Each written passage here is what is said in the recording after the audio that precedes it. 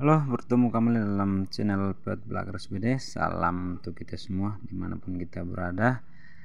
Di video yang terbaru ini, channel Pet Blagar akan membahas tentang apa itu inseminasi buatan atau IB kita singkatnya jadi IB pada ternak babi. Apa kelebihan dan kelemahannya dibandingkan dengan kawin alam pada babi terlebih dahulu kita bahas apa itu inseminasi buatan teman-teman jadi inseminasi buatan adalah suatu proses memasukkan semen atau sperma ke dalam saluran reproduksi betina sehingga dengan tujuan mampu meningkatkan mutu genetik hewan dalam waktu singkat dan menghasilkan anakan berkualitas dalam jumlah banyak dengan menggunakan bantuan manusia dan alat khusus yang disebut insemination gun.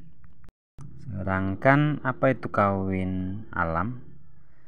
Ya, tentunya kita ketahui bahwa kawin alam atau kawin langsung yang dilakukan pada ternak yaitu di mana terjadi pertemuan antara ternak jantan dan betina yang kita bahas ini contohnya babi maka pertemuan antara babi betina yang birahi dengan pejantan yang siap untuk mengawinkan jadi yang kita fokuskan di sini adalah apa itu inseminasi buatan. Jadi teman-teman uh, di musim mulai virus berapa tahun lalu ini kita dihantui dengan ketakutan di mana uh, terjadinya penularan penyakit baik yang secara langsung lewat ternak ataupun lewat manusia ataupun alat-alat peralatan kandang.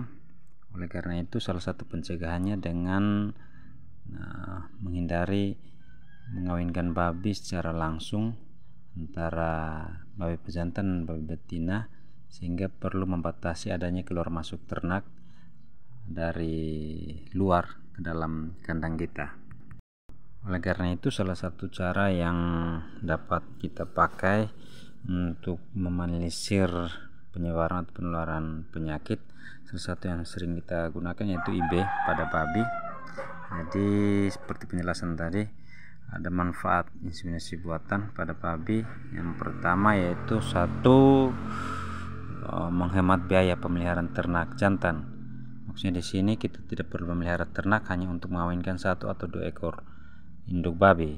Jika kita memiliki lebih dari 10 ekor atau 20 ekor mungkin kita perlu memelihara satu ekor pejantan untuk mengawinkan. Namun kalau betina kita babi betina kita kurang di bawah sekitar 2-3 ekor sebaiknya menggunakan kawin suntik. Dengan kata lain kita dapat menghemat pemeliharaan ternak jantan. Yang kedua ah, kita dapat mengatur jarak kelahiran antar ternak dengan baik di mana ketika mulai dari proses dikawinkan bunting beranak dan penyepihan itu dapat kita atur. Yang ketiga mencegah terjadinya kawin sedarah pada ternak babi betina atau inbreeding. Oleh karena itu, sebelum kita lanjut, jangan lupa subscribe, share, like, dan komen. Ya, terima kasih. Jadi, kita lanjut mencegah terjadinya kawin sedarah pada ternak babi ya, atau inbreeding. Jadi perlu dilakukan inseminasi buatan atau IB sehingga uh, pejantannya dan betinanya mudah untuk dikontrol. Nah yang berikut yaitu uh, menghindari kecelakaan yang sering terjadi pada saat perkawinan secara langsung di mana terjadinya fisik yang luka atau memar karena tekanan dari babi penjantan bahkan bisa mengakibatkan terjadinya cedera pada babi betina. Itu dapat dihindari dan manfaat yang berikut yaitu uh, peternakan babi kita dapat uh, dihindarkan dari penyakit menular terutama penyakit yang ditularkan melalui hubungan kelamin jika terjadinya kontak langsung atau kawin langsung antara babi pejantan dan betina. Ya, jadi teman teman-teman itu tadi manfaat dari IB. Sedangkan kalau tujuan IB sendiri yaitu yang pertama mutu genetik pada hewan ternak tetap terjaga di mana dengan kita menggunakan IB menggunakan pejantan yang berkualitas bagus baik F1 maupun sampai F4 dengan mengawinkan pada babi betina maka terjadi perubahan genetik yang dari yang sebelumnya mungkin masih ada campuran babi lokal ras lokal atau sejenisnya dapat kita ubah genetiknya menuju genetik yang lebih baik. Dengan harapan pertumbuhan yang semakin cepat menghasilkan nilai jual yang cukup bagus.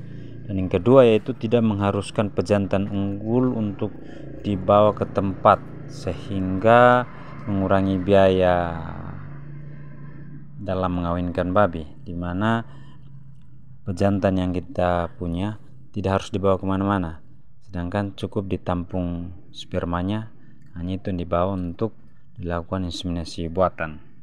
Selain itu juga uh, jika punya pejantan untuk kawin suntik yang jelas tujuannya salah satu yaitu mengoptimalkan penggunaan bibit pejantan unggul secara lebih luas dalam jangka waktu yang lebih lama. Uh, maksudnya di sini di mana kalau pejantan itu dipakai dan dirawat dengan baik maka mampu dimanfaatkan dengan cara mengawinkan babi bukan hanya di satu tempat bahkan di beberapa tempat yang jauh sekalipun dapat dilakukan. Beda dengan pejantan kawin alam paling dalam waktu atau jarak yang dekat mampu dilayani namun dalam tempat yang jauh mungkin mengalami keterbatasan.